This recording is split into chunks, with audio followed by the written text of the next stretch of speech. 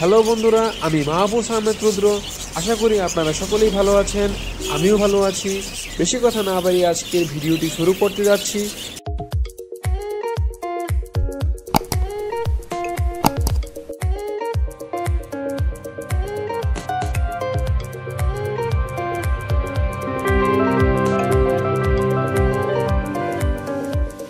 আজকে আমি খুব গুরুত্বপূর্ণ বিষয় নিয়ে আলোচনা করব।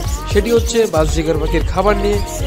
লকডাউনের কারণে আমরা বাজরিকার পাখির খাবার ঠিকমতো সরবরাহ করতে পারছি না। বিশেষ করে চীনা, যেটি হচ্ছে বাজরিকার পাখির প্রধান খাদ্য, সেটি আমরা বাজারে ঠিকমতো পাচ্ছি না এবং পেলেও সেটার দাম হচ্ছে আকাশ ছোঁয়ার মতো।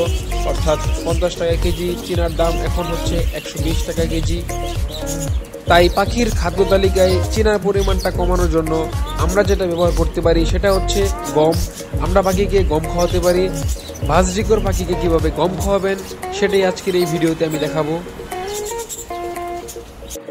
এখানে পরিমাণ মতো গম আমি আগের রাতে ভিজিয়ে রেখেছিলাম এবং আজকে আমি সেগুলোকে খেতে দিচ্ছি। অর্থাৎ প্রায় একদিনের মতো গমগুলোকে আমি পানিতে ভিজিয়ে রেখেছিলাম। ভিজিয়ে রাখার ফলে গমগুলো ফুলে উঠেছে এবং নরম হয়ে গেছে, যার ফলে বাজরিকের পাখি খুব সহজে এগুলোকে খেতে পারবে। যদি আপনারা গম সেদ্ধ করে খাওয়াতে চান, তাহলে খুব ভালোভাবে গম সেদ্ধ করতে হবে, যাতে গমগুলো এভাবে ফুলে নরম হয়ে ওঠে।